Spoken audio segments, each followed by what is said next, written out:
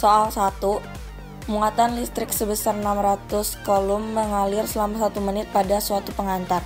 Besarnya arus yang mengalir adalah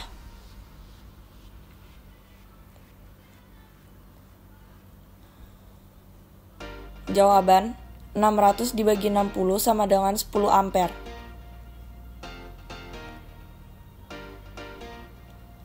Soal 2. Berdasarkan data pada gambar, kuat arus listrik 1 adalah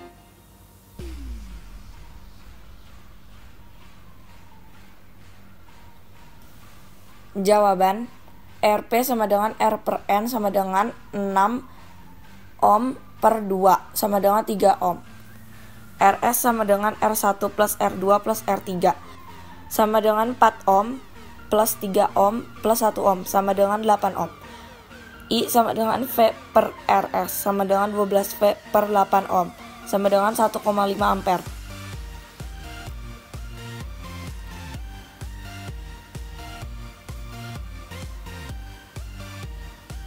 Soal 3, di dalam sebuah rumah terdapat 5 lampu masing-masing 20 watt menyala selama 10 jam per hari, sebuah TV 60 watt menyala 8 jam per hari, dan sebuah setrika 250 watt digunakan 4 jam per hari. Besar energi listrik yang digunakan selama satu bulan.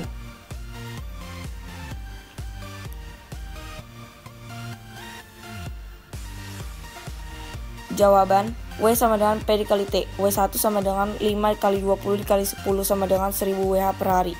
W2 sama dengan 60 dikali 8 sama dengan 480 WH per hari. W3 sama dengan 250 kali 4 sama dengan 1000 WH per hari. W total sama dengan 1000 plus 480 plus 1000 sama dengan 2480 kWh per hari. W1 bulan sama dengan 2480 dikali 30 sama dengan 74.400 WH atau 74,4 kWh.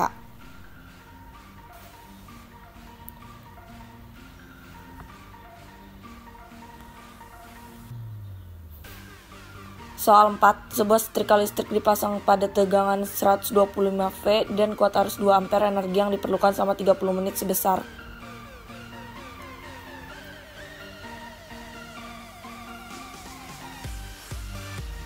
Jawaban W sama dengan 125 dikali 2 dikali 1800 250 dikali 1800 sama dengan 450.000 joule.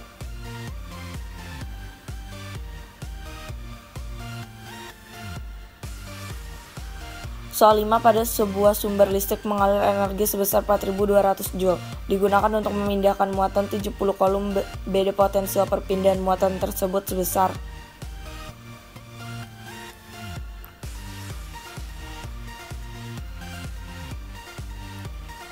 Jawaban 4200 dibagi 70 sama dengan 60 V.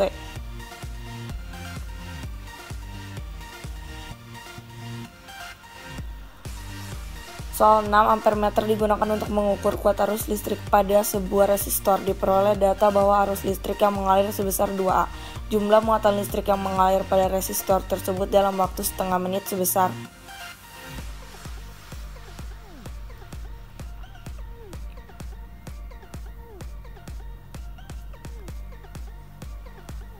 Jawaban 2 dikali 30 dari setengah menit sama dengan 60 ampere.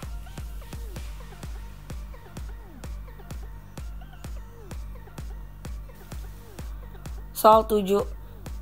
Jika rangkaian 1 dan 2 diberi tegangan 6 volt, kuat arus pada rangkaian 1 dan 2 berturut-turut adalah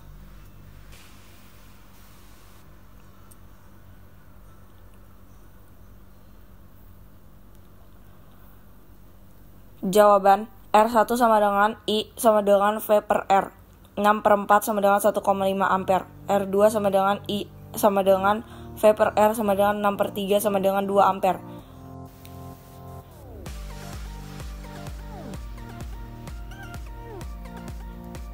Soal 8. Muatan listrik sebanyak 1 kolom melewati kawat induktor selama 1 sekon.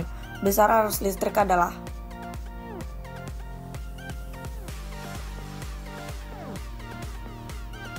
Jawaban I sama dengan kiri per T sama dengan 1 per 1 sama dengan 1 kolom per sekon sama dengan 1 ampere.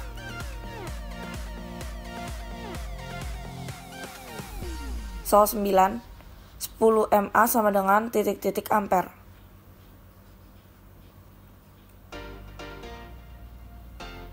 Jawaban 1 ampere sama dengan 1000 miliampere.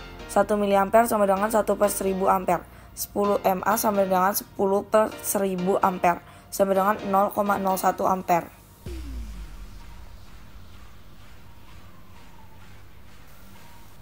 Soal 10, kuat arus pada cabang 1X sama dengan